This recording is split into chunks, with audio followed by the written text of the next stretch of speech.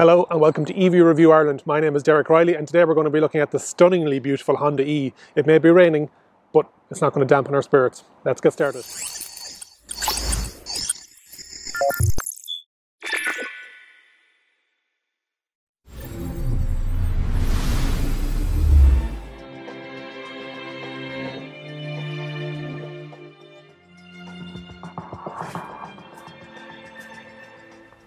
Trying to do a bit of this when it's raining outside is difficult, but we will get through it. Um, as we get into the car, it is a frameless door. Uh, and the handles are flush mounted so they appear to you as you walk towards them or you press it and they'll come out towards you. It is a five door, you might not uh, see that in the uh, side profile or even just by looking at it. They've hidden that door handle in the C pillar at the back uh, in that black portion. Uh, just uh, at the back corner of the window, very similar to Renault Zoe. Um, also, another feature that I like, another uh, design element that I like is the brown seatbelts. May not be everybody's tastes. The actual look may not be to everybody's taste, but what they're going for is that kind of a lounge experience. Um, it reminds me of um, something very minim- minimalistic. Um, I like it. Um, the design of the actual Honda E itself, you can see from the outside, is very similar to the first Civic back in the 1970s, um, and it has that hockey puck C pillar at the back, a hockey stick C pillar at the back, um, and that uh, grille joining the two headlights at the front. Um, interior, uh, where do we start? Uh, sunroof, um, panoramic sunroof that can be closed and opened um, with a cover, but the actual sunroof itself uh, doesn't open or close. It's all one unit. Um, with Honda Ireland, the Honda E comes in two variants, the base model and the advanced version. So with the base model, after government grants, the price is coming in at 29,995 euros. And with the advanced version, with a couple of bit of extras, uh, the electric motor is a bit more powerful, that's coming in at 32,995. So about 3,000, not about, 3,000 euros in the difference. With Honda Ireland, what they've done is they've ordered in all advanced options because they feel that's where the market is. If you are interested in a base model, they will order it for you, but it will be down the line. Uh, factories have opened and closed in Japan uh, due to the pandemic. So just be aware that it may take a bit longer. You will start to see these on the road at the end of October 2020 in Ireland. It was supposed to be 2021 but Honda Ireland pushed for them to get into the marketplace um, and they've achieved that. So you will start to see them on the road uh, and in the dealer network.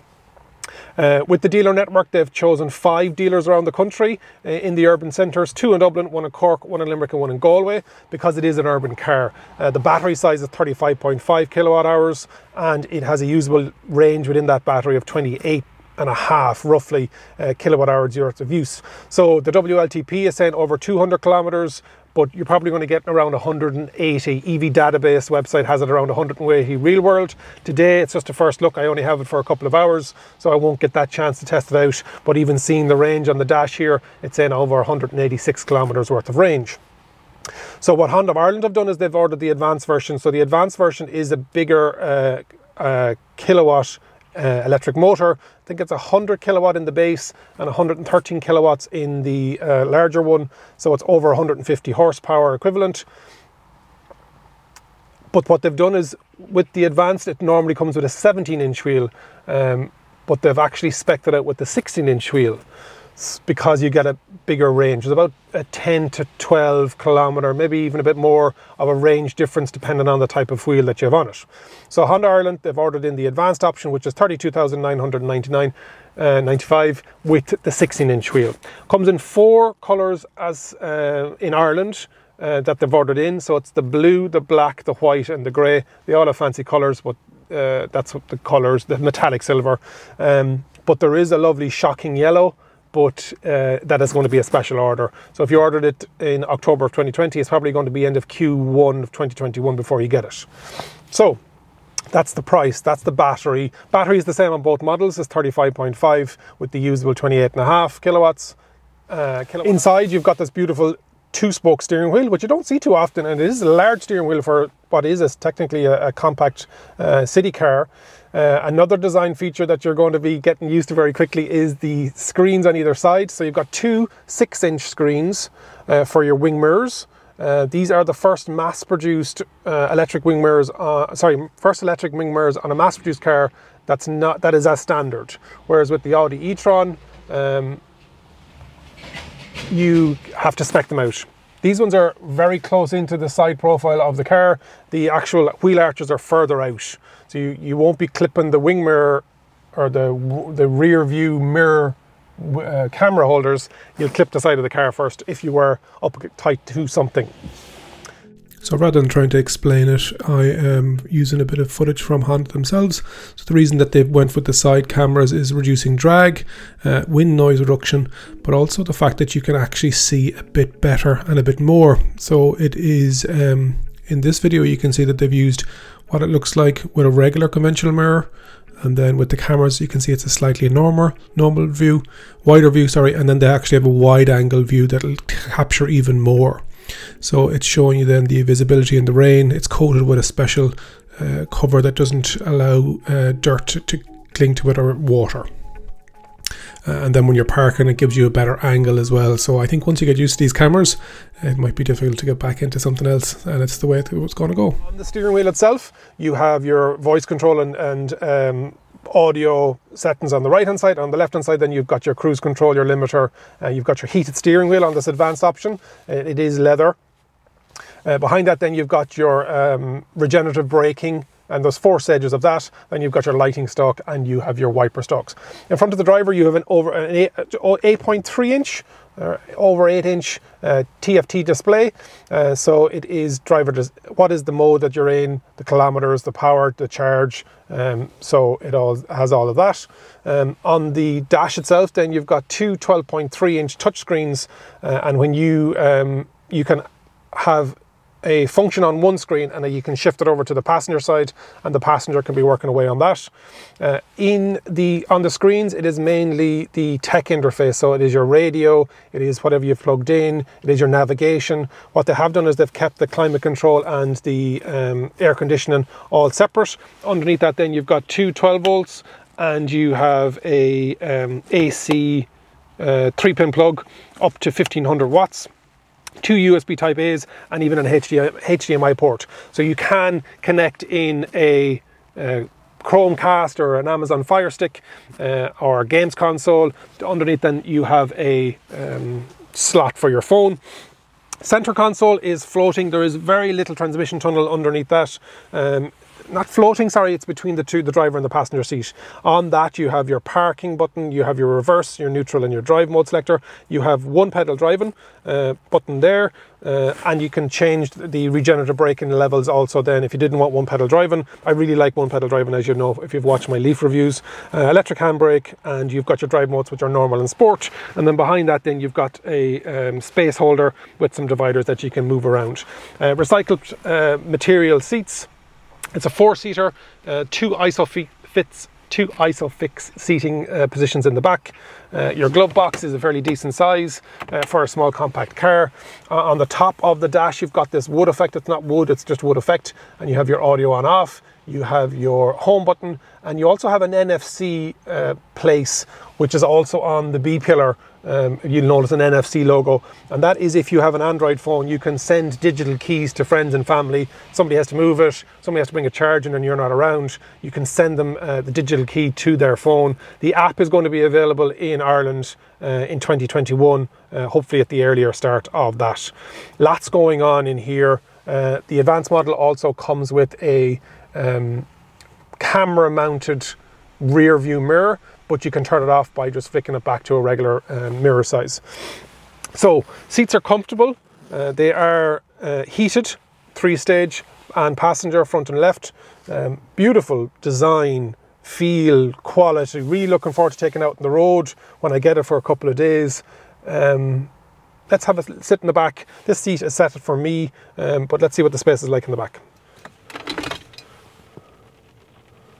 There beautiful uh, design touch of some fabric, a fabric loop that you pull out.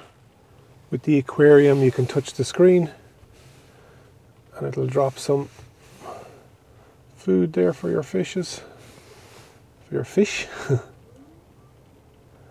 and just something to do when you're charging your car. Using some more Honda footage just to explain those beautiful push button start and you've got the beautiful 12.3 inch screens. So you can customize the wallpaper on it uh, and you can upload your own image if you want that as well. Uh, on the left and the right hand side of the screens you have the different modules or apps that are and you can change and customize them. Uh, you can also see what recent apps you've used so you can uh, very similar to a phone or a tablet. Uh, with the um, driving modes and assistance and car settings you can also have EV mode where you can uh, schedule when the car charges. So if you're on an, an, energy tariff that has a cheaper price point at a certain time, all of this will be available through the app as well that's coming next year. All the driver assists, collision mitigation, low speed braking control, blind spot, etc. Navigation is in there as well. It's also compatible with Android Auto and Apple CarPlay. Connections Wi-Fi and Bluetooth. You can change it to the other screen so that the passenger can control the information on that screen. And then you've finally got your uh, personal assistant which is OK Honda. Uh, and you can, it's in context of what you say. So if you ask for information the weather or a restaurant it knows what you're talking about for those that don't already know, I'm six foot two, so 186 centimeters, and this seat was set for me. It is tight. Now they do say it is a four seater, so it is, and you can spread out. Uh, behind the seat, you've got a map pocket, you also have two USB Type Cs. You've got a headrest as well. Height is actually good. Uh, this car is slightly, um, and you also have a button uh, to turn the lights on and off. These four lights uh, overhead. Uh, lots of airbags around the place as well. Uh, again, the brown seat belts are in the back. Um, so yeah, it's a flat um, bench style seat, and you've got your ISOFIX seatings as well. These seats do fold down, so you get about 850 odd litres once the seats fold down. We'll have a look in the boot here now, but it is uh, one of the uh, downfalls of the Honda E, but it's designed that way, so it is a 171 litre uh, boot space that's in the back, uh, so it is tight for space. Um, so this is the Honda E from the front in the rain. Uh, and you can see right on top of the bonnet, you can see exactly where the uh, charger is going to be uh, and you can use that from the um, key fob.